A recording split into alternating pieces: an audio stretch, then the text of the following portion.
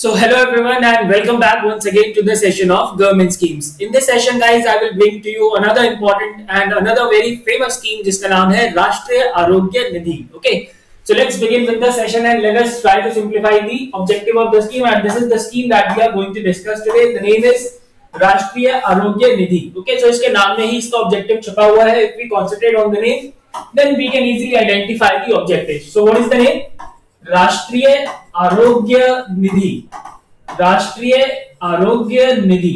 So Rashtriya means national Arogya mean means health and Nidhi means financial assistance so what is the meaning of Arogya here it stands for health while Nidhi means financial assistance so I think guys the objective is clear so the financial assistance will be provided for health okay और health में किसके लिए financial assistance दी जाएगी? Of course for any disease okay so diseases के लिए जब financial assistance provide कराई जाएगी under this Rashtriya Arogya Nidhi scheme and remember one important thing thing that under Rashtriya Arogya Nidhi the disease should be major life threatening disease okay यहाँ पे ये शब्द का इस्तेमाल किया गया है in the document of the scheme the disease should be major life threatening disease right under this uh, Rashtriya Arogya Nidhi, financial assistance is provided to the BPL families to the below poverty line families for the treatment of major life threatening diseases okay so i hope guys the objective is clear there, there is uh, very easy this is very easy to understand this is very easy to determine the objective of this scheme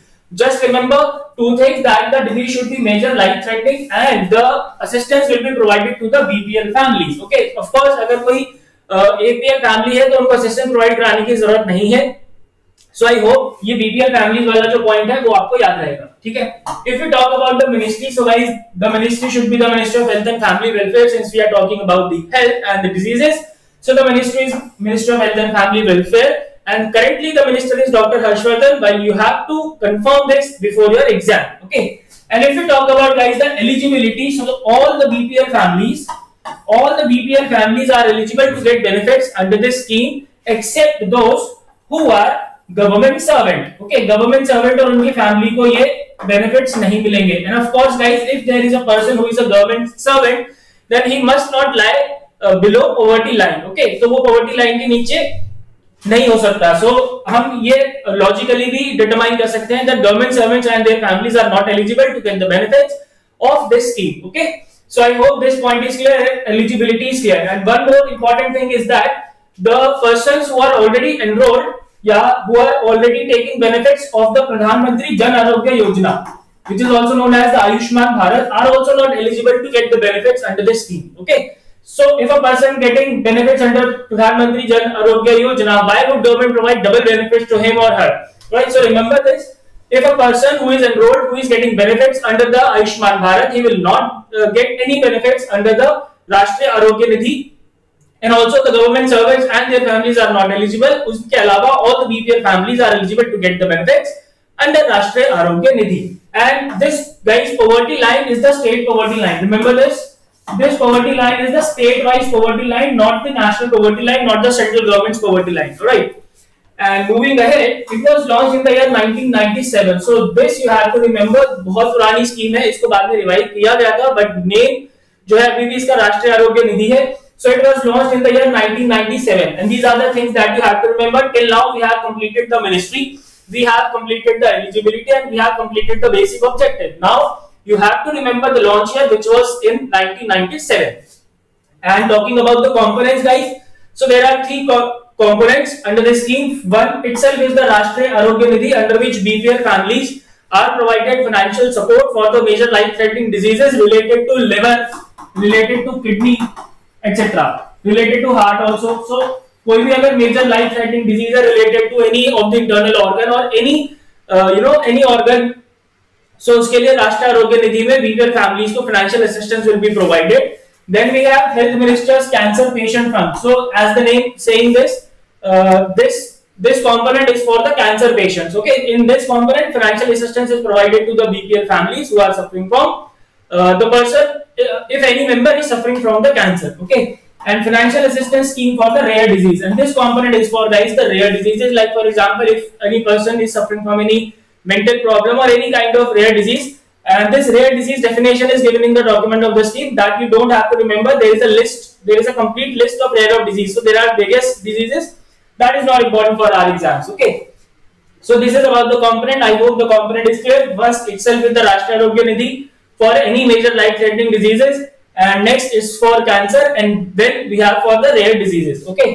And if you talk about guys the financial assistance की financial assistance कैसे दी जाएगी और कितनी की दी जाएगी और कैसे दी जाएगी so there will be revolving funds okay the revolving funds have been set up in all the health facilities under this component jitne bhi and remember one important thing that this financial assistance will be provided only when the person is uh, getting treatment from a government hospital okay this benefit, this financial assistance will not be provided in case the person is uh, receiving the treatment in a private hospital. Only for the government hospital it will be provided.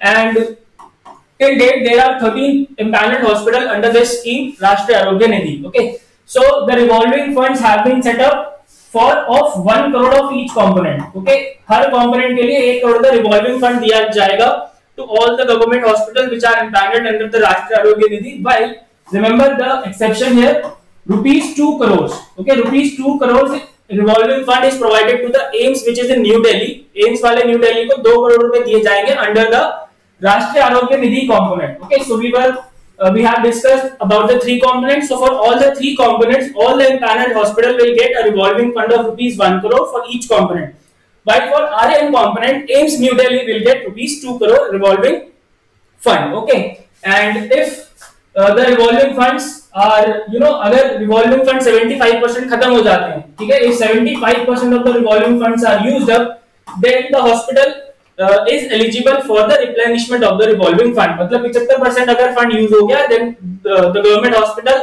that empaneled hospital can apply for the uh, replenishment of the fund okay if the treatment is up to rupees 5 lakh then that is under the power of the medical superintendent of the hospital uh, there uh, uh, the medical superintendent does not have to take any permission from the ministry. But if the treatment is above rupees 5 lakh, the matter has to be referred to the Department of Health and Family Welfare under the Government of India. और वहाँ से जब वो accept करेंगे उस proposal को then only पाँच लाख से ऊपर का ट्रीटमेंट प्रोवाइड कराया जाएगा और पाँच लाख से ऊपर कितना हो सकता है maximum assistance that can be provided under the scheme guys is rupees 15 lakhs okay so up to 5 lakh medical superintendent can provide the treatment. Above 5 lakh the matter should be referred to the uh, department of health and family welfare. Then the maximum assistance that can be provided under this scheme guys is rupees 15 lakh. Okay? So i hope guys the scheme is clear. Rashtriya arogya nidhi let me summarize this once again. So rashtriya arogya nidhi as the name suggests it is uh, for the major life threatening diseases.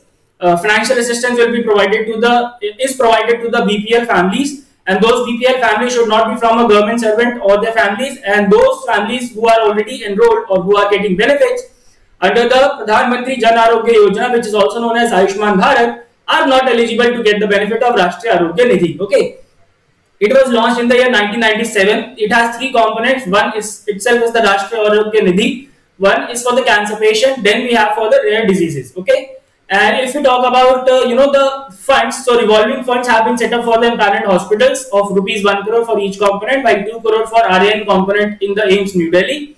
Then 5 lakh tak treatment that can be provided under the uh, power of medical superintendent. If the treatment is above rupees 5 lakh then the matter has to be referred to the department of health and family welfare and the maximum assistance that can be provided under the scheme guys is rupees how much rupees 15 lakh so i hope guys the scheme is clear and there are no doubts so now let's talk about the questions that can be asked in your exam Sameer belongs to Andhra Pradesh where poverty line threshold is rupees 5000 per month Central government's poverty line threshold is rupees 5500 per month. Sameer's monthly income is rupees 5200 per month. Is he eligible to get the benefits under Rashtriya Arogya Nidhi? And these are the options: yes, no, yes, but 50% of the financial assistance, yes, but 25% of the financial assistance, yes, but 75% of the financial assistance. So, guys, as I told you, the poverty line under this scheme is defined as in accordance with the state poverty lines. Okay, and if in the question it is given that the uh, Andhra Pradesh state poverty line says uh, threshold income is 5000 per month and Samir's income is 5200 per month which means he does not lie below the poverty line so that's why he will not be able to get the benefit under the scheme option B no will be the correct answer here question number 2 is how much maximum financial assistance was provided under the Rashtriya Arogya Nidhi कितना maximum है so guys the maximum amount is how much rupees 15 lakh पाँच लाख तक के लिए medical superintendent के पास power है उसके ऊपर जाएँगे तो department of health and family welfare के पास जाना पड़ेगा then when was Rashtriya Arogya Nidhi scheme launched so guys its launch year is very very important because it is an old scheme so old scheme का जो launch year है वो exam में काफ़ी पूछा जाता है so it was launched in the year 1997 option B is the correct answer here okay and guys that's it for the uh, session of this scheme i hope the scheme is clear If you have any doubts, you can ask me in the doubt section. Thank you so much for watching. मिलते हैं अगली session में. Goodbye, take care, and God bless.